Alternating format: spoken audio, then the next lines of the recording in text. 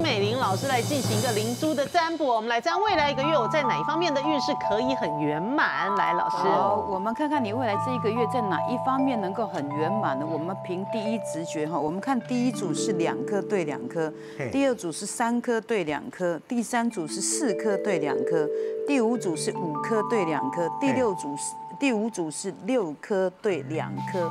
未来一个月我的运势可以圆满吗？好，我们来看，我们先来看第一组好了哈。我们第一组呃，观众朋友跟艾老师所挑到的第一组是在哪一方面能够圆满呢？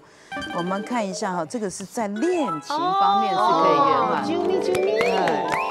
在恋情的话，其实现在很多的感情都是纷纷扰扰、吵吵闹闹的，一直没有办法找到解决的方法，所以一直没有办法让感情安定下来。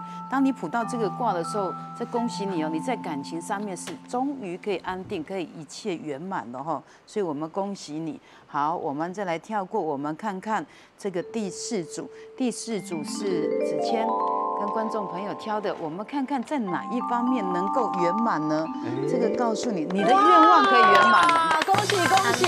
愿望当然是希望专辑大卖，对不对？对，你的愿望就是专辑大卖嘛，吼，所以你的愿望是可以圆满的。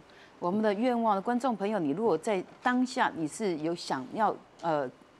圆满哪一件事情呢？这恭喜你了哈！你现在当下所有的愿望都能够圆满，我们恭喜你哈！然后再来，我们看今天呃，我们关我们所有人挑的最多的就熊熊啦，还有这个静纯哦，好，我们看看在哪一方面能够圆满。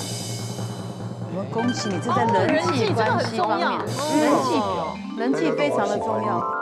人际就是说，现在很多人在职场上啊，他需要有贵人相助啦，或者是有资金啊，或是我想要唱歌，也要有个平台给我啊，哈，就是说你在人际关系方面，你现在想要什么样的人脉，都会如愿以偿，所以我们恭喜你哈。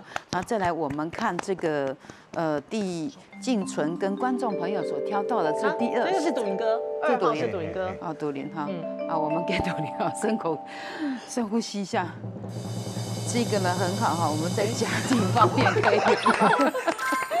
哦，family 很圆满，很圆满。family。其实现在很多的家庭呢，天天吵吵闹闹，看个新闻呢，也要看说你是蓝党的，我是绿党的，你什么党的，然后天为了政治人也会吵架，看个新闻也会吵架。我们转个台，什么都吵吵闹闹的哦。所以我们卜到这个卦的时候呢，这代表说家庭种种的纷纷扰扰，种种的问题呢，其实。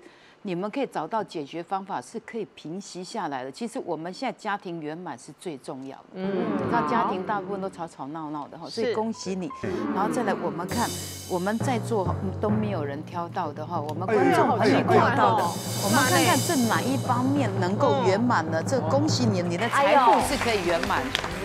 我们财富圆满的话，就是代表说你现在钱财是非常非常的旺，恭喜你哦。